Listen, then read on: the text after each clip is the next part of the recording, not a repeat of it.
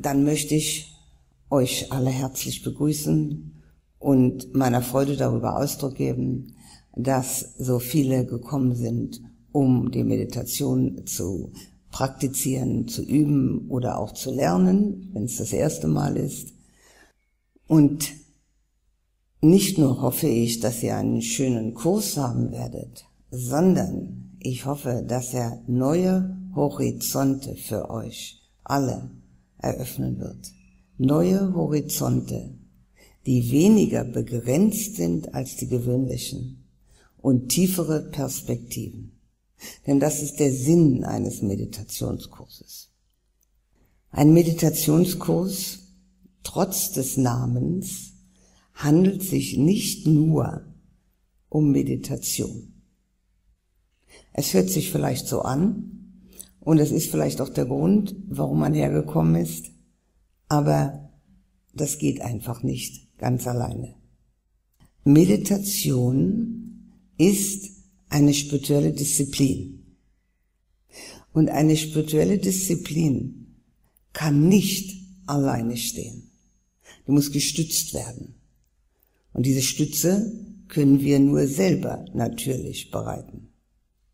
Wir haben daher die Lehre des Buddhas, die uns zeigt, was wir alles üben können, praktizieren können, um diese innere Klarheit, innere Läuterung, Liebe und Hingabe zu erlangen, die auch dann in der Meditation ihren Ausdruck findet. Ich werde in diesem Kurs die drei Teile der Lehre beschreiben.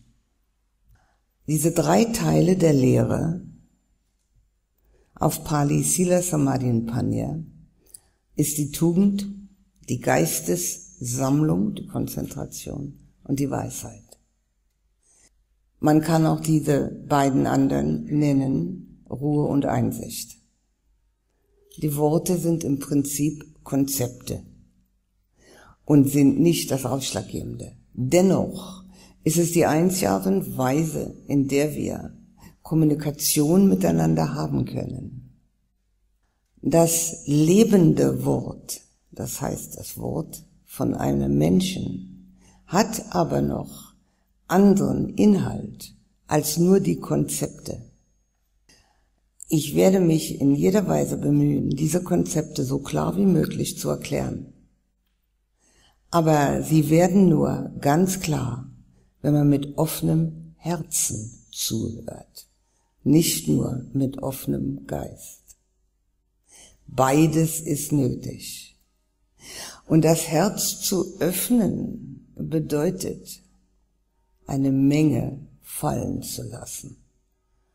Und dieses Fallen lassen ist eins der wichtigsten Dinge, die wir lernen, ja, ich werde sagen müssen, um erstens einmal meditieren zu können und zweitens mal überhaupt uns von dem Materiellen zum Spirituellen wenden zu können fallen lassen. Entsagung, kein sehr beliebtes Wort, aber wir werden vielleicht merken, dass es große Vorteile mit sich bringt. Das Erste, was wir machen werden mit der Entsagung, ist, dass wir nobles Schweigen haben. Wir entsagen der Unterhaltung. Das ist schon eine große Entsagung. Denn im Allgemeinen sind wir gewöhnt, sehr viel zu reden. Und wir können vielleicht ehrlich genug sein, um zuzugeben, dass nicht alles, was wir miteinander reden, in sonstigen, an sonstigen äh, Orten und Begebenheiten, sehr wichtig ist. Hier wird sich allerdings der Geist mit sich selbst unterhalten.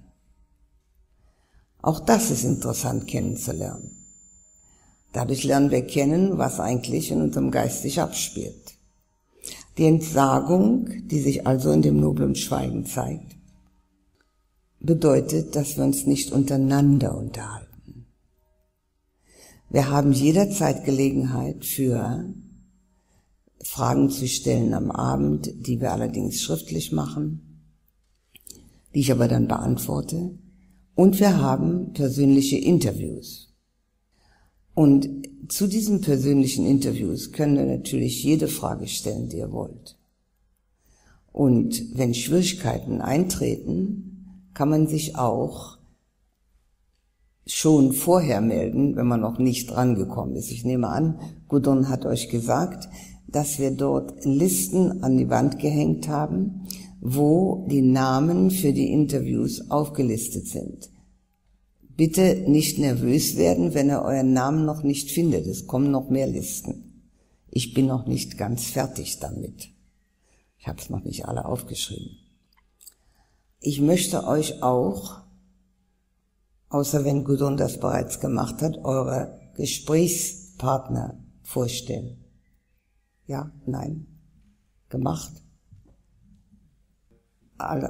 Also, der erste, der hier vor mir sitzt, ist Norbert. Kannst du aufstehen?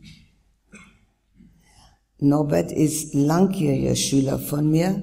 Er ist seit äh, 10, 11, 12, 11, seit elf Jahren Schüler bei mir und lehrt auch in unserem Münchner Stadtzentrum.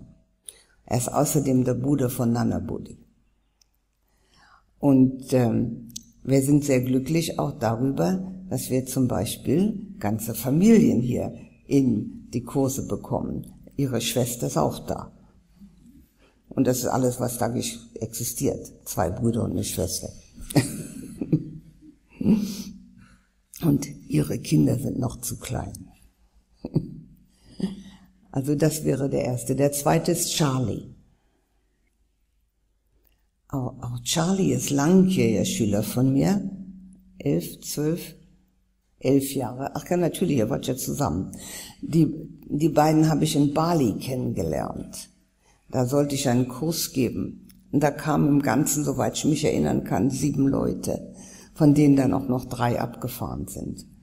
Und die beiden sind aber geblieben und sind immer noch da. Charlie ist auch euer Gesprächspartner. Charlie lehrt auch in unserem Münchner Stadtzentrum. Und beide haben schon oft und viel ähm, Interviews gegeben, so dass ihr bestimmt eure Fragen beantwortet bekommt. Dann Nana Buddhi. Nana Buddhi ist buddhistischer Mönch und lebt im Buddha-Haus.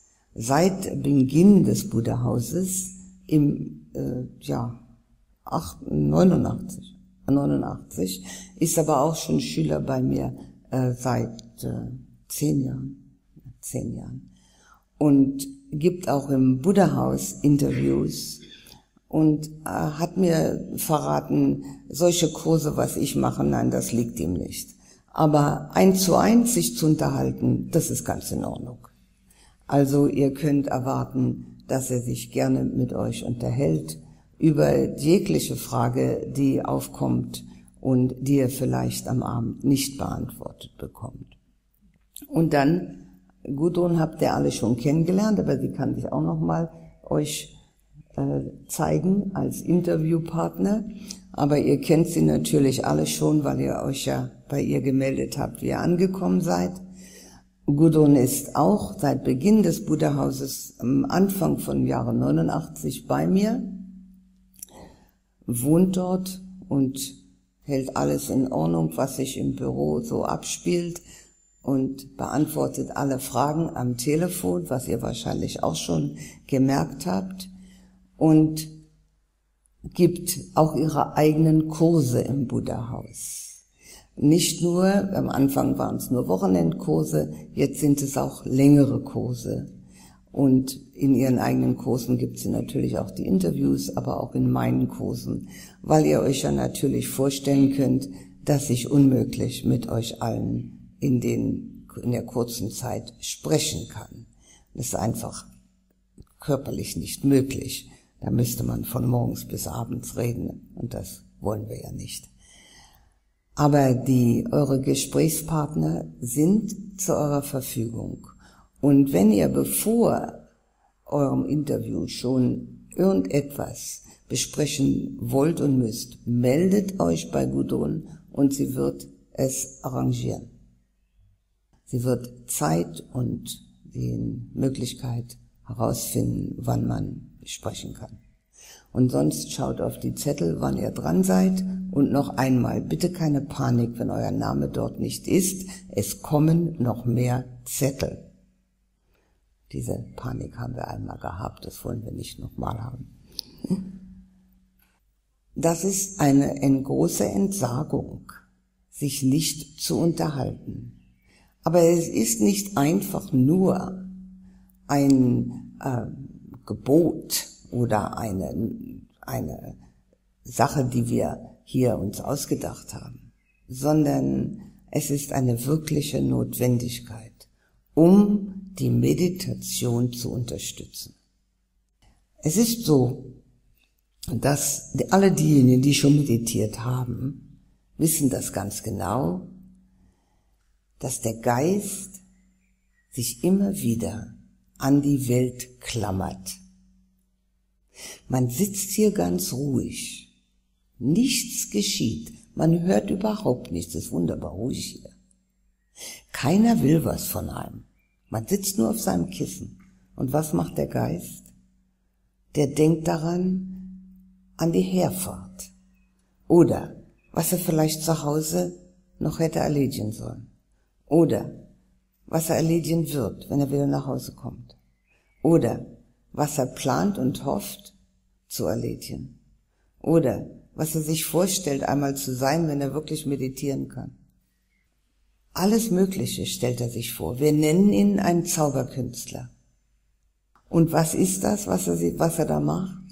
Nichts anderes, wie sich mit der materiellen Welt beschäftigen. Denn alles, was wir denken können, ist immer noch materiell.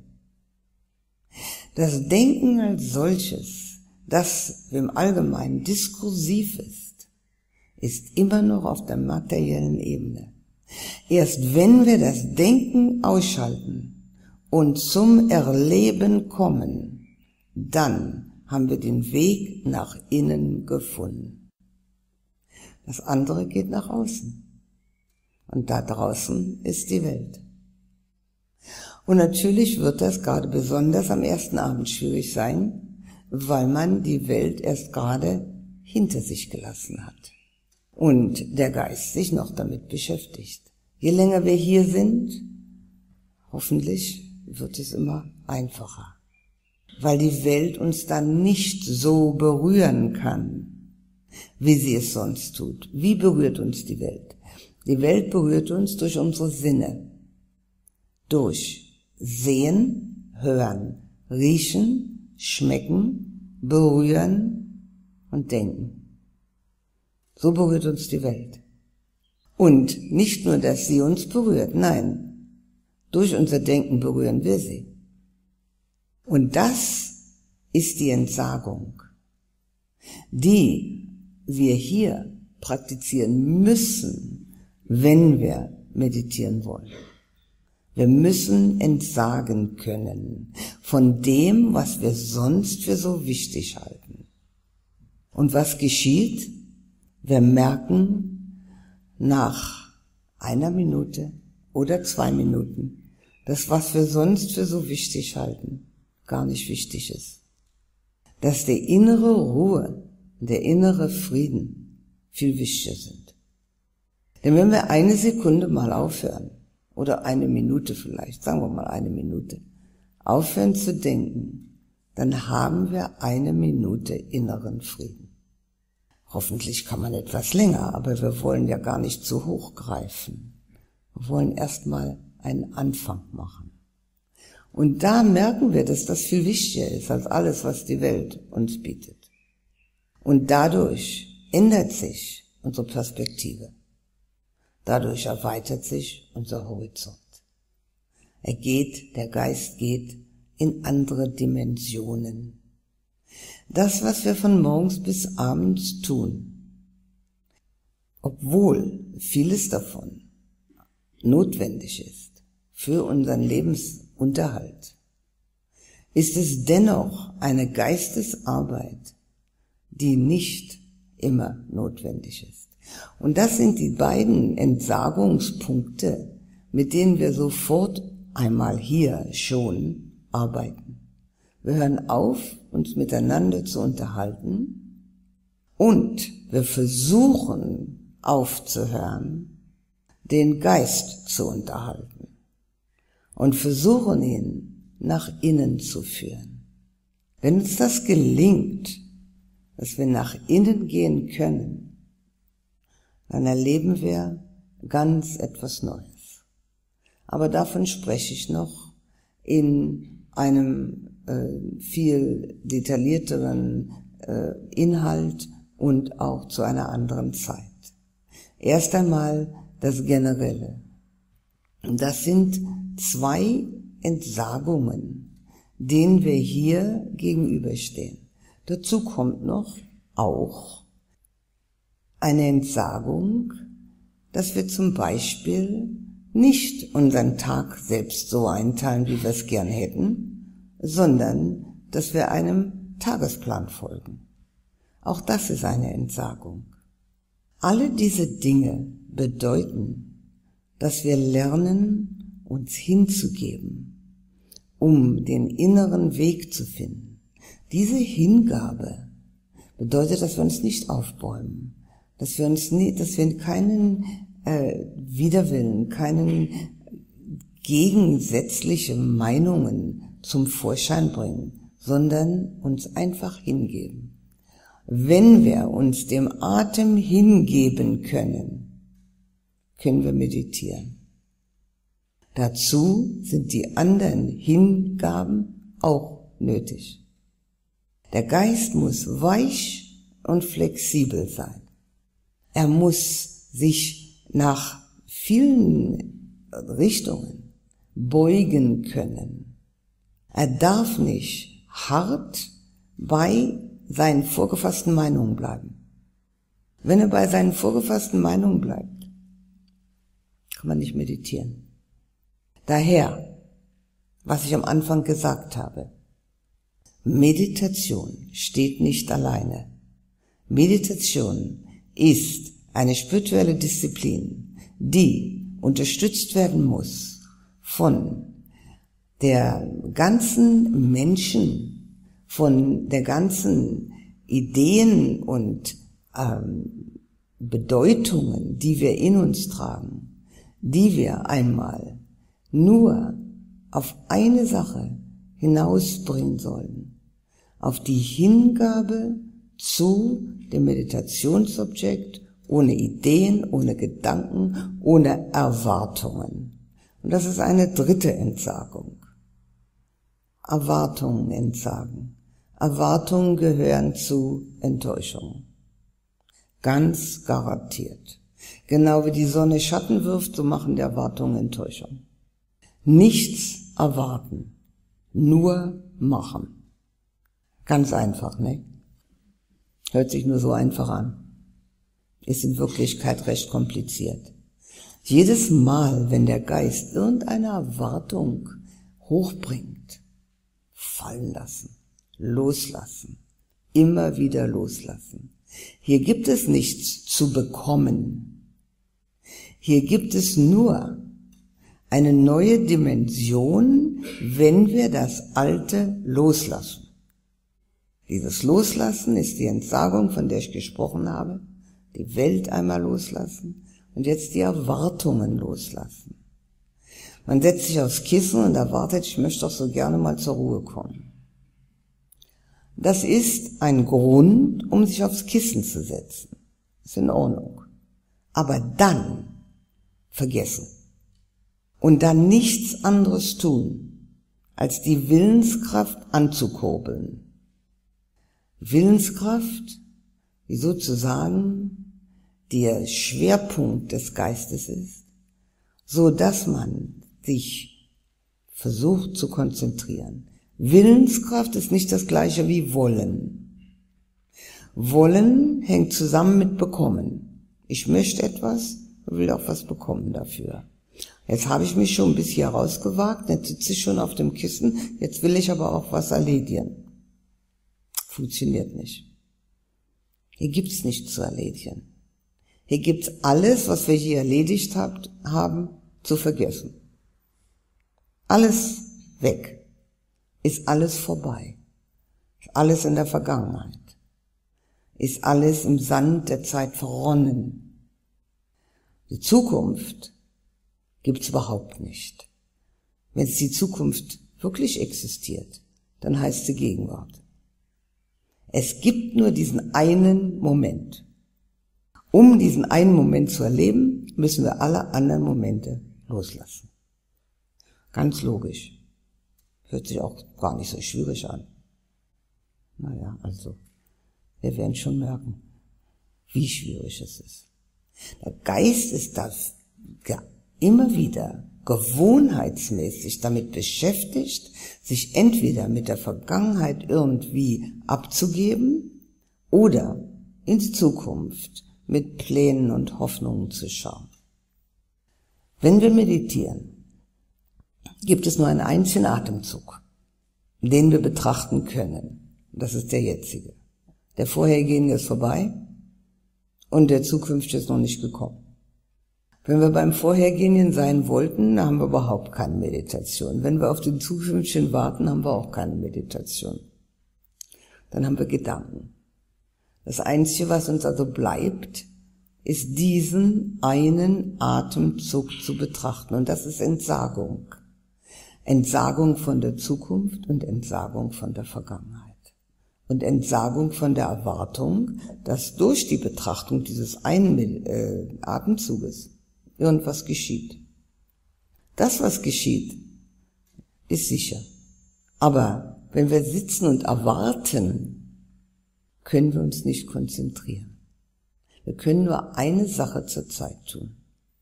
Wir können entweder uns konzentrieren, dabei bleiben, den Geist sammeln, oder aber wir können Erwartungen haben. Wir haben also einen ziemlich vielfältigen Entsagungsprozess, den wir durchmachen in einem Meditationskurs. Und dieser Entsagungsprozess ist so gedacht und gerichtet, dass wir von dem gewöhnlichen Alltag uns entfernen und von dem gewöhnlichen Alltagsdenken. Sich von dem gewöhnlichen Alltagsdenken zu entfernen, es dauert natürlich etwas Zeit, aber es ist der größte Erleichterung, die es geben kann. Denn das gewöhnliche Alltagsdenken ist ständig mit irgendwelchen Schwierigkeiten behaftet. Man möchte etwas haben, was man nicht hat, oder man möchte etwas loswerden, was man hat. Irgendwas stimmt immer nicht. Hat's eine Sekunde gestimmt, stimmt's in der nächsten nicht mehr. Irgendwas ist immer los. Und wenn wir uns von diesem Art Denken und diesem Art Erleben loslösen, dann haben wir auch die Möglichkeit der Meditation, die Möglichkeit, das Innenleben, unser eigenes Innenleben kennenzulernen und diejenigen, die das schon können, wissen, was sie dort erleben, die anderen werden wahrscheinlich, wenn sie es kennenlernen, überrascht sein. Aber vor allen Dingen nichts bekommen wollen. Und das ist der Unterschied zwischen Materialismus und spirituellem Leben. Materialismus hat nicht nur mit Geld zu tun oder mit Häusern und Grundstücken. Materialismus ist darauf aufgebaut, dass wir etwas haben wollen. Und wenn es auch nur Liebe ist, das wir haben wollen, oder wenn es Liebe ist, oder Anerkennung, oder Ruhm, oder ähm, Selbstbehauptung oder Lob. Irgendwas wollen wir haben. Das Materialismus. Da hat Chogyam Trungpa ein wunderbares Wort geprägt. Hat auch ein Buch, das hat den Titel Spiritueller Materialismus, der überall anzutreffen ist. Spiritualismus ist ganz was anderes. Das Loslassen. Alles einfach mal fallen lassen. Und jedes Mal, wenn der Geist wieder anfängt, neue Geschichten zu erzählen, ihm gut zureden und sagen, loslassen, fallen lassen. Die Welt muss sich nicht hier in dieser Halle tummeln. Die tummelt sich dort draußen. Wir brauchen sie nicht hier mit hineinzubringen, obwohl wir das natürlich alle tun. Aber mit der Zeit können wir sie vielleicht draußen lassen. Nicht nur vor der Tür, sondern noch weiter weg. Denn sie tummelt sich in unserem Geist. Und wir merken das vielleicht gar nicht, dass wir der Welt erlauben, dass sie uns so stark berührt. Wenn wir also den Unterschied zwischen materiellem spirituellen Leben ganz kurz und schnell erklären wollen, so ist das eine bekommen wollen und das andere ist loslassen. Und das ist absolut notwendig bei der Meditation. Ohne Loslassen geht es überhaupt nicht. Für diejenigen, die am Anfang der Meditation stehen, entweder noch gar nicht oder selten meditiert haben oder deren Konzentration noch nicht gefestigt ist, aber auch für alle anderen, möchte ich ganz kurz noch die sofortigen Vorteile, die wir durch die Meditation bekommen, erwähnen, die uns immer wieder zur Seite stehen und uns helfen. Das Erste, was uns dadurch geschieht, dass wir meditieren, ist, dass wir gutes Karma machen. Weil wir haben gute Absichten. Je mehr gutes Karma wir machen, desto einfacher wird unser Leben. Wir werden darüber noch mehr sprechen. Ich will es jetzt nur ganz kurz erwähnen. Das zweite, der zweite Vorteil, den wir haben, ist, dass die Lässigkeit und Trägheit des Geistes, der wird entgegengearbeitet dadurch, dass wir uns dem Meditationsobjekt hinwenden. Jedes Mal, wenn wir uns dem Meditationsobjekt zuwenden, müssen wir den Geist wach halten. Das Wort Buddha ist kein Name. Es bedeutet der Erwachte. Wir können alle erwachen. Buddha hat gesagt, obwohl wir wach herumlaufen, laufen wir in einem Traum herum. Wir können aus diesem Traum erwachen, aber nur mit einem geschärften und Einspitzchen und einem vollkommen gezähmten Geist. Jedes Mal, wenn wir uns dem Meditationsobjekt zuwenden, tun wir das, auch wenn es nicht anhält. Der Buddha hat die Lässigkeit und Trägheit des Geistes damit verglichen, dass wir in einem Gefängnis sind. Wir selber haben den Schlüssel dazu, können jederzeit die Gefängnistür aufschließen. Das tun wir, indem wir uns dem Meditationsobjekt zuwenden. Wir lernen unsere Gewohnheiten des Geistes kennen, indem wir etikettieren. Alle die, die sich wirklich konzentrieren können, brauchen das nicht zu tun. Aber sich wirklich konzentrieren bedeutet die Vertiefung. Also, wer die Vertiefung macht, muss natürlich nicht sich ähm, mit dem Etikettieren beschäftigen. Aber am Anfang ist es für jeden äußerst wichtig, ein Etikett auf den abschweifenden Gedanken aufzukleben. Die Etikette können jeder Art sein. Das Erste, was in den Sinn kommt, ist das Richtige. Man muss nicht das beste Etikett finden. Das Etikett kann sein Zukunft, Vergangenheit, planen, hoffen, träumen, fantasieren, sich ärgern, Langeweile, Ablehnung und ein Etikett, was auch sehr gut passt, sehr häufig ist Unsinn. Und wenn man das sagt, ist man sich selbst gegenüber ehrlich. Und dadurch lernen wir zwei ganz wichtige Dinge. Das erste, was wir lernen, ist, dass wir unseren Gedanken nicht zu glauben brauchen. Wenn die Menschheit mehr davon in sich hätte, dass sie nicht jedem Gedanken glauben, den sie haben, und jedem Gedanken hinterherlaufen, den sie haben, dann würden wir weniger Argumente und Feindseligkeiten begegnen. Die Gedanken, die wir haben, sind einfach Gedanken. die stimmen nicht alle. Und bei der Meditation merkt man das ganz deutlich. Einfach Gedanken. Wir haben überhaupt nichts damit zu tun mit dem, was wir gerade machen.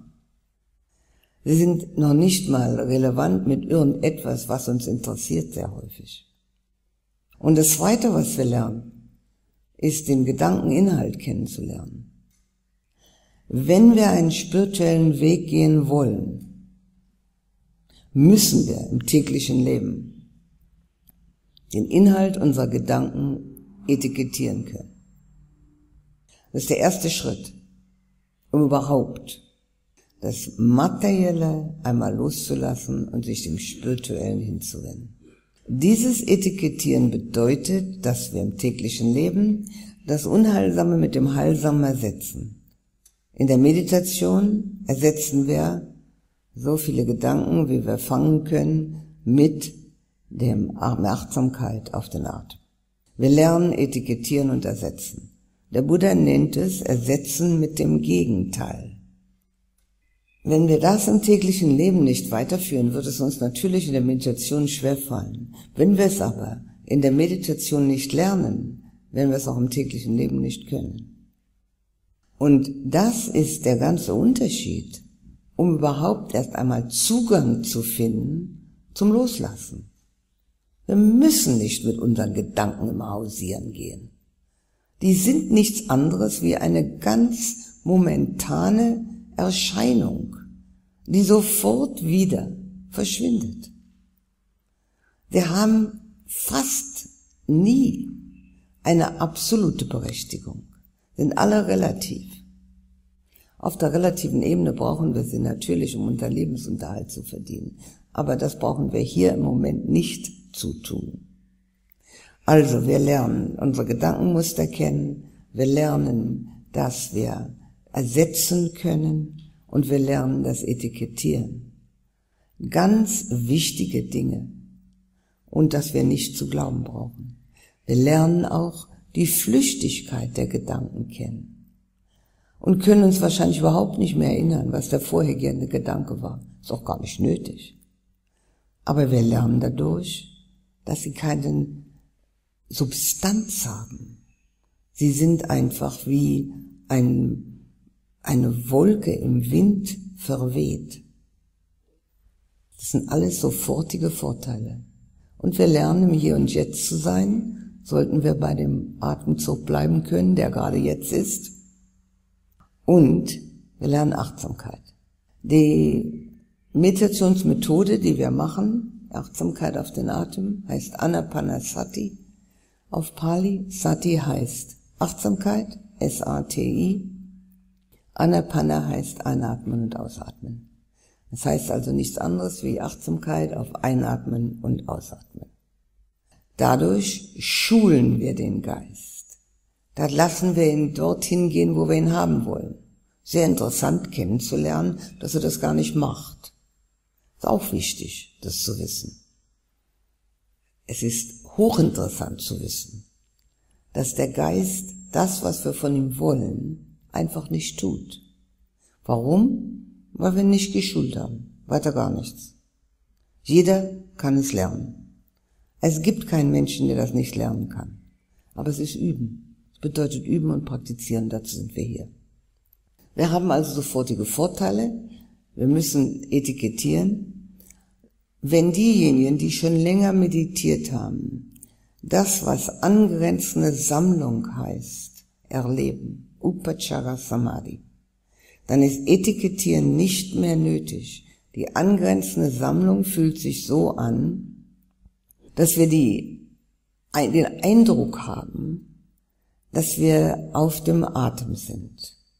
Aber dass noch wolkenartige Gedanken so am Hinterkopf vorbeiziehen, den wir gar nicht benennen können. Das ist angrenzende Sammlung. Da soll man nicht etikettieren, sondern mehr Willenskraft hochbringen. Wirklich in den Atem hineinfallen zu können, alles andere loszulassen. Solange die Gedanken aber wirklich noch massiv sind, das heißt, sie lenken uns total ab, von der Achtsamkeit auf den Atem so lange Etikette draufkleben. Auch das hört dann auf. Einmal sagt der Geist, ist ihm langweilig geworden. Und dann wird er wirklich sich konzentrieren. Wir benutzen den Atem und für diejenigen, die bereits ihre Meditationspraxis etabliert haben, machen es so, wie sie sonst gewöhnt sind, mit der Atembetrachtung. Für diejenigen, die noch keine Kurse mit mir gemacht haben oder überhaupt noch nicht meditiert haben. Wir benutzen den Atem, wie er aus den Nasenlöchern herein und heraus geht und benutzen dafür Hilfsmittel. Und zwar werde ich fünf verschiedene Hilfsmittel nennen und ich möchte, dass jeder sich eins davon aussucht und dabei bleibt. Bis morgen nach dem Frühstück. Wenn er sich dann ein neues aussuchen will, ist fein. Aber es liegt nicht an der Methode. Es liegt am Geist. So dass wir erst einmal dem Hilfsmittel, was wir uns ausgesucht haben, genügend Zeit geben müssen, um es überhaupt zu benutzen.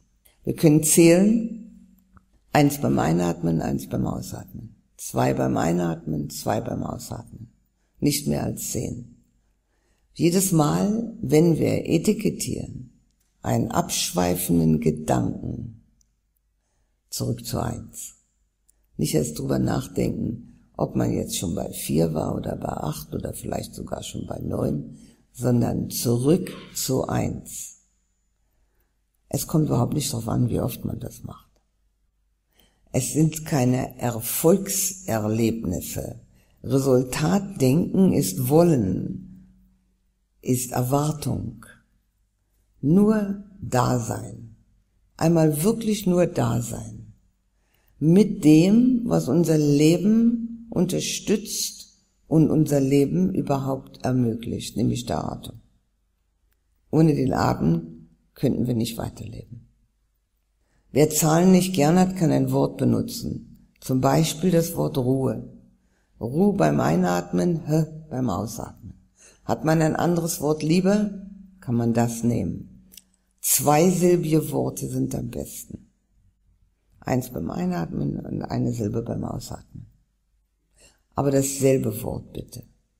Nicht ein neues Wort sich ständig ausdenken. Wer visuell veranlagt ist, kann sich vorstellen, dass der Atem mit einer sanften Ozeanwelle in die Nase hineinkommt und mit einer sanften Ozeanwelle wieder herausgeht. Aber das ist nur für diejenigen, die visuell veranlagt sind. Wenn jemand nicht visuell veranlagt ist, ist das noch eine extra Mühe was ganz unnötig ist. Für die, die visuell veranlagt sind, kann es eine große Hilfe sein, weil der Ozeanwellen sind rhythmisch und der Atem ist auch rhythmisch. Dann kann man Empfindung nehmen. Die Empfindung, die der Wind des Atems an den Nasenlöchern hervorbringt, wenn der Wind des Atems sie trifft. Diese Empfindung ist nicht nur an den Nasenlöchern, auch in der Nase zu spüren, oftmals auch in der Stirn oder im Rachen, wo immer die Empfindung zu spüren ist, zusammen mit dem Atem. Dort richten wir unsere Achtsamkeit hin, beim Ein- und beim Ausatmen. Und für diejenigen, die schon länger geübt haben, aber noch nicht konzentriert sind, Anfang, Mitte, Ende des Atems. Man kann dabei eins, zwei, drei zählen, muss aber nicht. Anfang, Mitte, Ende des Atems verlangt stärkere Achtsamkeit und ist daher etwas schwieriger, kann aber auch für diejenigen, die schon länger geübt haben, gute Resultate bringen. Die Schwierigkeit liegt bei Ende und Anfang. Aber wenn man genau aufpasst, merkt man, dass da ein Moment von Pause entsteht. Ganz kurz natürlich. Aber das ist nur günstig für diejenigen, die schon Achtsamkeit länger geübt haben. Die anderen sollten sich mit den ersten Vieren eins davon aussuchen. Zählen, Wort, Bild oder Empfindung. Diejenigen, die konzentriert sind, wissen sowieso, was sie zu tun haben. Nach den äh, Zetteln, die ihr ausgefüllt habt, sind alle verschiedenen äh, Stadien der Meditationspraxis hier vorhanden, so dass ich für jeden und alle irgendetwas erklären möchte, so dass jeder sich zurechtfindet. Mit der Sitzstellung ist es so, dass es nicht wichtig ist, wie wir die Beine halten. Hauptsache ist, dass wir sie so halten, dass wir so bleiben können, versuchen zu bleiben. Hände auf den Knien oder im Schoß zusammen, einer auf der anderen. Und der Rücken soll gerade sein, aber nicht militärisch gerade, entspannt. Schultern sollen fallen gelassen werden, Nacken und Bauch sollen entspannt sein. Wir schließen die Augen. Aber wenn jemand merkt, dass er schläfrig wird, sofort aufmachen und ins Licht schauen. Schläfrig werden ist eine sehr übliches Hindernis bei der Meditation. Und das kommt daher, weil wir ja dem Geist sagen, er soll aufhören zu denken. Er soll sich mal von dem Denken befreien. Und im Allgemeinen kennt der Geist nur eine einzige Sekunde, wo er nicht denkt. Und das ist die Sekunde vorm Einschlafen. Man kann nämlich nicht einschlafen und denken. Und wenn man ihm nur schon sagt, er soll aufhören zu denken, dann sagt er wahrscheinlich, ach so, dann muss ja wohl Schlafenszeit sein. Und dann zieht er los. Also Augen aufmachen. Sich selber gut zureden. Buddha hat empfohlen, an den Ohrläppchen zu ziehen, die Backen zu reiben, die Schultern zu bewegen, um den Kreislauf anzuregen. Und wenn nichts anderes mehr hilft, ganz vorsichtig und langsam aufstehen. Die wenigsten Menschen schlafen im Stehen. Und dann, wenn man dann wieder ganz wach geworden ist, kann man sich wieder hinsetzen. Das ist aber nur eine Maßnahme, wenn es unbedingt nötig ist. Aber man kann sich auch sehr gut zureden und sagen, jetzt ist die Zeit zum Meditieren und nicht zum Schlafen. Jetzt ist die, die Möglichkeit gegeben. Alle Umstände sind vorhanden. Also, jetzt einmal die Anstrengung machen, so dass man die Zeit gut verbringt. Sonst die Augen geschlossen, weil wir wollen so wenig wie möglich Sinneskontakte haben. Es gibt nichts zu hören, es gibt nichts zu sehen, nichts zu schmecken, nichts zu riechen. Das Einzige ist noch der Berührungskontakt des Sitzens. Der Berührungskontakt des Sitzens, ich denke, das werde ich morgen noch ganz deutlich erklären, weil es auch eine längere Erklärung ist. Erst wollen wir mal versuchen, so gut wie möglich zu sitzen.